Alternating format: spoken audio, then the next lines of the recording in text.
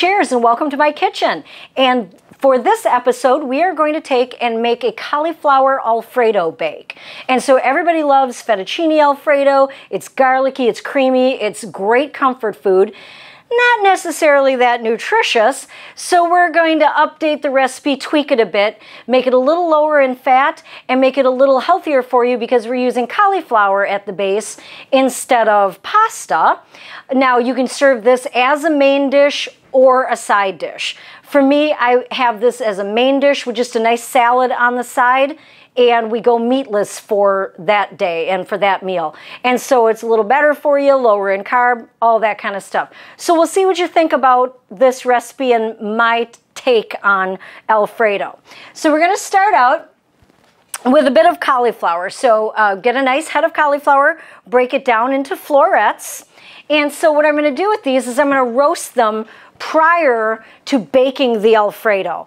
And I know it's it seems like you're doing things twice, but if you take a raw vegetable like cauliflower, broccoli, and carrots, any of those guys, and you you bake them without blanching them ahead of time or roasting them ahead of time, they tend to get a little rubbery and dry. So we're going to roast them to draw some moisture to the surface, give them a little color, which will give them a visual interest, texture, and flavor. And then we're going to put them into the bake and then just kind of bake them with the Alfredo sauce to meld flavors. And you'll end up with a much better texture. And so we've got our, our cauliflower. We're going to put a good quality extra virgin olive oil on here. Here we go. Here, we'll toss this up. It, um, just a, a couple of tablespoons is all you really need. Here we go. And we're going to put this onto a parchment lined baking sheet those guys lined up. And this is going to be a cauliflower Alfredo bake, but to give it a little bit more interest, I'm gonna roast some tomatoes as well. So I've got little tiny rainbow cherry tomatoes. And so they're an heirloom, a blend of, of cherry tomatoes. So we've got the yellow ones, which are the sun sugars, and they're super sweet. We've got your standard cherries. We've got some of the little um, tomatoes that when they're solid green, they're actually ripe. They've got an interesting look and a little bit more of an earthy flavor, a little less acidic. So it's all a, a nice little fun blend of tomatoes. Put those in there. We're going to give those guys a little bit of olive oil. There's usually enough in, left in the bowl from the cauliflower. Whoop, escapee. Here we go. To get them well coated. There we go. And onto the same tray. We're to hit these guys just a little bit of salt, so a little bit of kosher salt. Not a lot. I use kosher salt because it's a non-iodized salt. It's to give us a cleaner flavor. It's to draw some moisture out of them and it's going to enhance their flavor. So it's it's all all a good thing. But again, use of salt really depends on what your doctor tells you you need to do for your own personal health. You can roast them without the salt. It's not going to make a huge huge difference. And then I'm going with a little bit of freshly ground black pepper. And we're going to put these vegetables into a 425 degree oven for about 20 to 25 minutes and then we will take and get those out. Once our sauce is done, once those are roasted, we'll put the Alfredo bake together. So we're gonna get a pan over here going. Let's pop this on and uh, get a little heat going here. I'm going to work on medium heat. I'm going to allow my pan to heat up slowly across the bottom and up the sides. And then we're going to make our sauce in there. For this recipe, we are going to put the, for this part of the recipe, we are going to put the extra virgin olive oil off on the side and we're going to use a tiny bit of butter. And if you don't want to, if butter is not in your in your wheelhouse, you can use a tablespoon of extra virgin olive oil, you can use grapeseed oil, you can use avocado oil, but we do need a bit of fat for the base of this sauce because we do need to make what the French call a roux. A roux is a uh, cooked fat and flour paste used to thicken. And so we can't just use nonstick spray for this. We have to have enough fat to completely coat the flour. So fat of choice is up to you. I am going to use a teeny bit of butter. You could of course use a, a margarine if you had wanted to, whatever you're comfortable with. Uh, whatever your doctor says is okay for you. Um, but we'll get this going. And I'm gonna, while I'm waiting for my pan to heat up and my butter to melt, I'm gonna get a little garlic mince. And so fresh is what I always encourage people. You're gonna get the best flavor out of fresh garlic. It has the most essential oil. It is a little tedious to use in that you either have to peel it and chop it or you have to press it through a press, but you will get the best results. The little jars of garlic, great for having on hand for an emergency, but that garlic is packed in a liquid and most of your flavor stays in that liquid, so you lose a lot. And so you're gonna get the best, best case scenario here. The other problem I have with the jars of garlic is they do put a preservative in them because garlic turns blue when it's packed in a liquid and they need to prevent that from happening. And so you always have a little bit of an off flavor with the garlic that's in the jar. Now, you think, well, mincing garlic is kind of, you know, it's it's a messy and I don't want to deal with it. If you have a good garlic press, you can you notice I'm popping the peels out. You can press your garlic right through the peel. You need to get a do, good heavy duty garlic press. This is a Zyliss garlic press. Um, by it's called Susi by by Zyliss. You can buy them in any well-stocked kitchen department. Get them online with Amazon. Um, but they're made out of a heavy gauge metal that doesn't bend, so you can really press through. So I've got a nice bit. My butter is all melted here. Got a nice bit of garlic to start the base of our Alfredo. And now Alfredo is traditionally made with heavy cream. Um, and that doesn't really fall into any sort of a heart healthy diet. And so we're going to take and, and, change things a little bit. This is one of my tweaks with the recipe. Now, normally when I make Alfredo, I melt a little butter, I, I saute a little garlic. I want to give it, you know, about 30 seconds to a minute so we really start to release the flavor and the essential oil. I don't want to brown my garlic because it gets a little bitter. But then once I have my garlic sauteed, I will literally just pour a couple of cups of heavy cream in here, bring it to a rapid boil. Heavy cream can take a full rolling boil without breaking, and I will just allow it to cook down, season it with salt and pepper and a little Parmesan. It's called a pan reduction sauce. You allow it to thicken naturally. Heavy cream is the only milk you can do that with. So when we're trying to cut fat and be a little bit more heart healthy, we have to find other ways to do that. And so that's why we're gonna make a roux. I've got my garlic in here sauteing in my just one tablespoon of butter. I'm going to add a couple of tablespoons of flour. Here we go. We're gonna make sure our flour is completely enveloped in the fat. Here we go. And we're gonna give this about a minute to cook. What we're doing is we're, in this time that we're cooking our roux, you can see we've got a nice fat and flour paste. In this time that we're cooking our roux, we're cooking away any of the raw flavor that the flour will have. We're also allowing the fat to fully absorb all the flour, coat the flour, so that we won't end up with lumps in our sauce. This is a very safe way to thicken recipes. You can use this for gravies, sauces, uh, soups, anything where you need to thicken. A roux is a very safe way to do that. Standard roux is one tablespoon of fat to one tablespoon of flour will thicken one cup of liquid. I'm taking, decreasing the fat to one tablespoon and using two tablespoons of flour to thicken two cups of liquid. So I'm just cutting the fat back a little bit, playing with the science of the recipe a bit. And then instead of just using all milk in this, or cream, I am gonna use a little bit of a low sodium chicken broth for part of the base. This is my favorite brand. This is Pacific brand, and this is their organic, free-range, low-sodium chicken broth. It's as close to homemade as you're gonna find in a commercial product. And this only has 40 milligrams of sodium in one cup, which is huge. And if you look at College Inn or Swanson brands, their regular chicken broth has around 870 milligrams in one cup. So this is a huge difference by cutting this back. So it's a really good product. We're gonna put about a cup in here measured very accurately always. There we go. Put a cup in there. I'm going to switch from my spatula to a whisk and we're going to bump the heat up to about a medium high now because I want to get this up to a simmer. We need to get this up to a simmer to see how thick this is going to actually get because your starch will not be at its maximum thickening until it's at a simmer. That goes for any type of starch, whether you're using potato starch, rice flour, um, flour, cornstarch, arrowroot, any of those starches, they have to come to a simmer in order for you to really get a gauge on how thick they're going to make your sauce. All the science in the world you know, as far as one tablespoon of fat, one tablespoon of flour, one cup of liquid. You can go by that recipe, have it turn out really thick one day and really thin another day. And that can be the difference in how you measure the flour, and it can be a difference in the protein content in the flour. Every brand of flour has a different amount of protein in it, and different types of flour have different amounts of protein. Pastry flour having the lowest protein, then you have bleached all purpose then you go to unbleached all purpose, and then you go to bread flour having the highest amount of protein.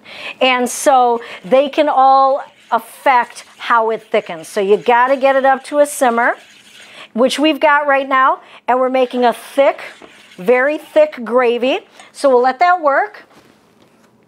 And then we're going to take and get our milk in there. Now, remember I said we normally make Alfredo with heavy cream we're going to cut that back. A lot of people like to work with half and half. I find half and half really tricky to work with. It's the milk product that's going to separate the easiest compared to um, whole milk or heavy cream or even some of your lower fat milks. This happens to be 1%. And you could even make this sauce with skim if you wanted. So um, the lower you go in fat, the lighter the sauce is going to be the less smooth it's going to feel on your palate. So you're going to lose that smooth mouth feel going down in fat because you get that smooth mouth feel from fat. Think about Leon's custard. How does that feel when you eat it? That's because of the fat that's in it. So I turned my heat all the way down to a low. Once we're going to start putting a milk product in, you really want to work on a low temperature. And there really is a proper way to put milk into a, a simmering sauce, and it's called tempering the milk. So I'm going to take my milk, put it into a bowl. I'm going to take a little bit of my garlic sauce right now, we'll call it. We're going to put a little in. We're going to whisk it. We're going to take and put a little in, and we're going to whisk it. What I'm doing is I'm slowly elevating the temperature of the milk to the temperature of the simmering sauce. So I'm less likely to break my sauce. And what I mean by breaking is that uh, if I put this milk in to a pot that's too hot, it's going to separate and you're going to get chunks of fat floating in it. So it's all going to separate out. And that'll even, it'll coagulate even a skim milk. So it's just kind of a separation and it's, it'll still be edible you just, again, it's mouthfeel. You're going to lose that mouthfeel. So we get this up. You probably can't see it in the camera, but I'm getting steam coming off of my milk. I do this in a metal bowl so I can feel how hot the, so the milk is getting. And I can feel this is almost as hot as my pot right here. So now I'm going to take and slowly, remember this is down to low heat now, I'm going to slowly work my tempered milk back in. Little bit at a time, Allow it to come up to temperature very, very slowly.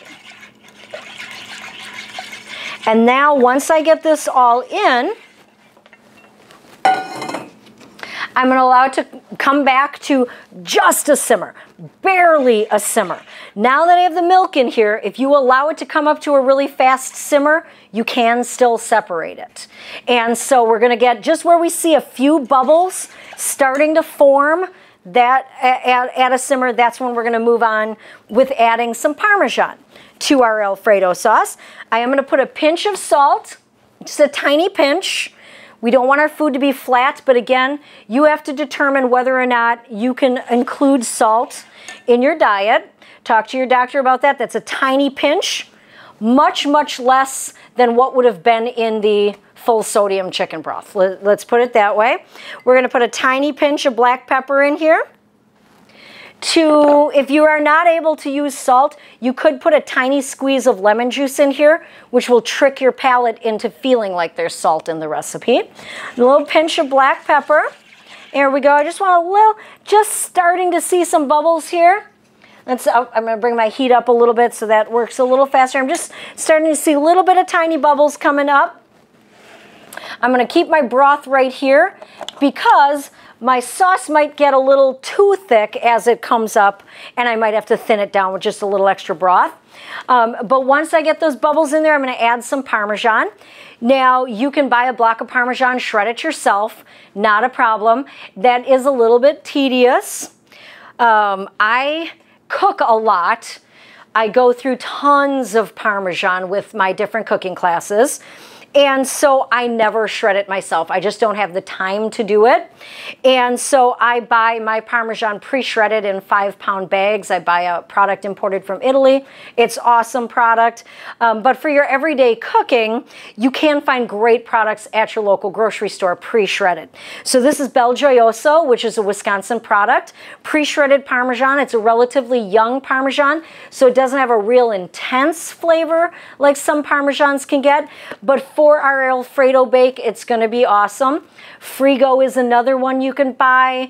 What what I'm I, I try to get across to people is we want to avoid the green can. You know what I'm talking about. Anything that says pasteurized processed product is probably not something we want to use.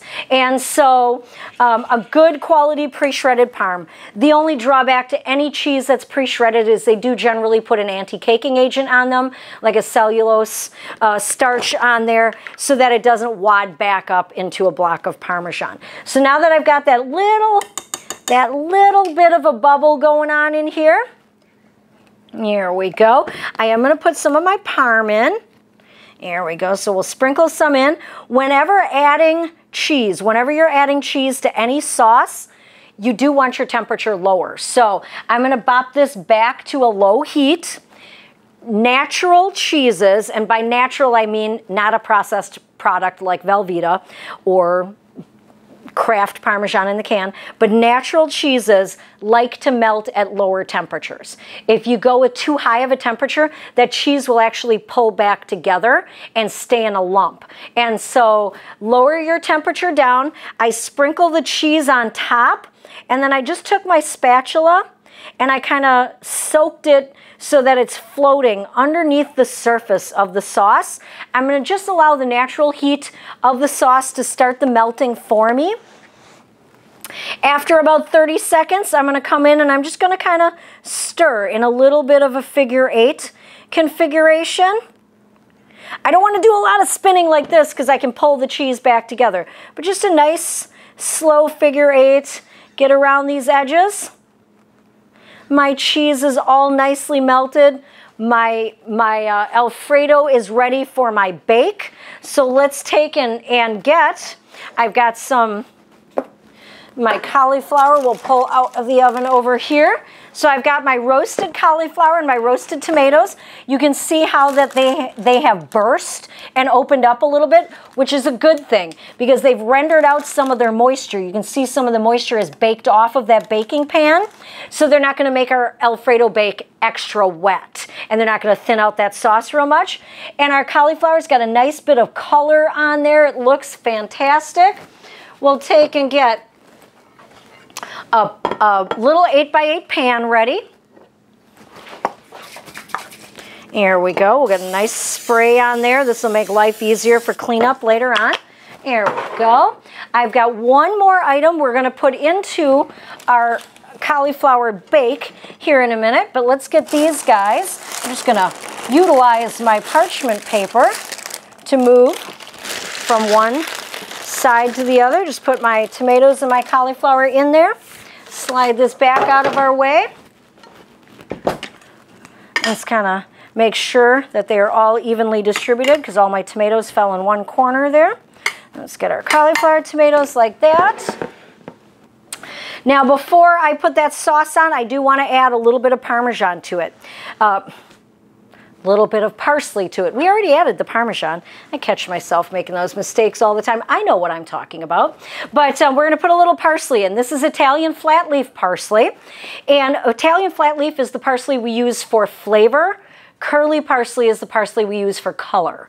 And so I want a little bit of flavor. This is earthy and bitter. It's going to balance out our sauce really nicely. I'm going to turn that sauce off, move it out of the way. This is just a nice bunch of parsley. Now, I don't go through and try to pick off every leaf. That would be really tedious. What I do is I wash this really well for about 30 seconds to a minute under fast running water. Get it nicely shook out. And then I just crack off the top of my parsley. There might be a few stems that are, are a little bit thick that I want to break off. But for the most part, these little thin stems, we can just chop right through those. They're not going to hurt anything at all. They're going to cook right in there. And so, but it saves us the work of trying to peel all the leaves off.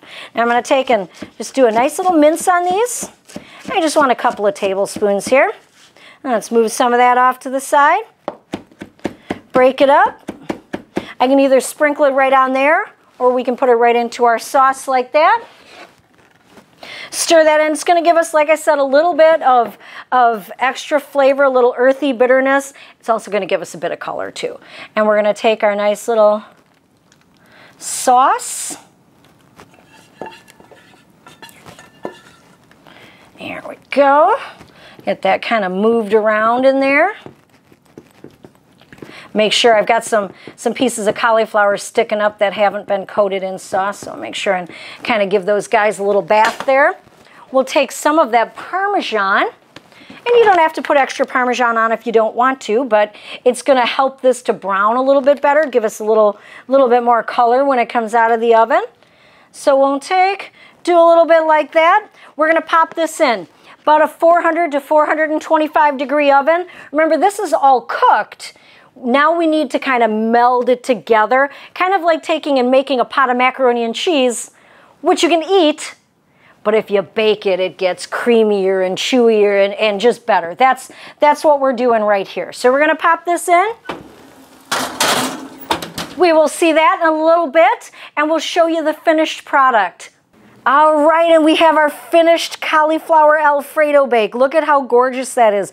Browned nicely on the top. All our little tomatoes popping up. Smells wonderful. It's such a good dish. I hope you'll try it at home. Leave us a comment. Let us know how you like the recipes. Um, sign up for the Karen Yontz Center YouTube channel. Join us for our other videos and have a great cooking day.